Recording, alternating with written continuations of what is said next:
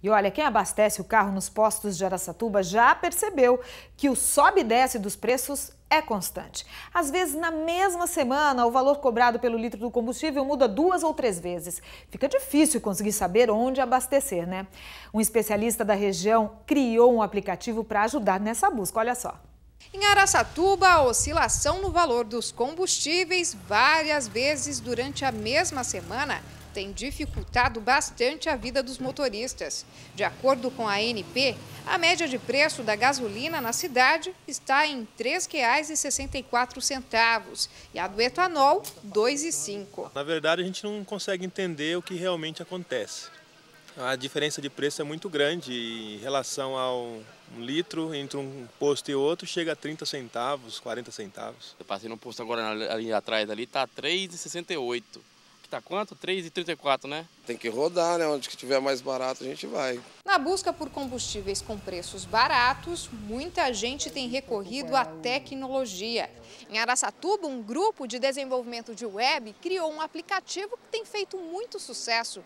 Em uma semana, foi baixado em mais de 6 mil celulares. Ricardo é um dos idealizadores dessa ideia. Pelo aplicativo é possível verificar os locais com combustíveis mais em conta e as respectivas bandeiras.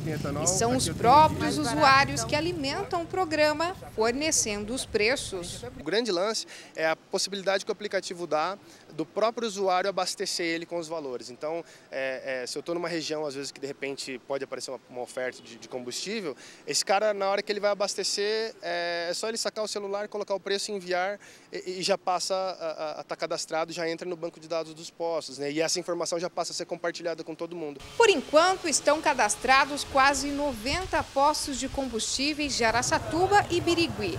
E o objetivo é expandir para outras cidades gente já vai participar de rodada de investimento, é, já vai buscar captação pra, de recursos para começar a expandir ele para outras regiões, para cidades maiores, enfim.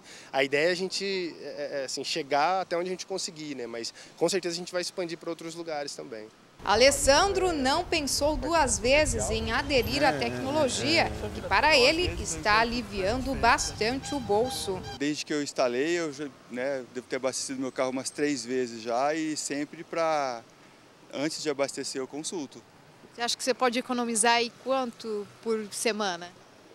É, eu, eu, por semana não fiz a conta ainda não, mas mensalmente eu acredito que um tanque, né, é coisa de 120, 130 reais mensais. Para este economista, iniciativas como essa são sempre bem-vindas. Mas para realmente fazer a diferença no orçamento doméstico, a dica é encher o tanque. Suponha que o consumidor abasteça 20 litros a R$ reais, então ele vai pagar 40 reais.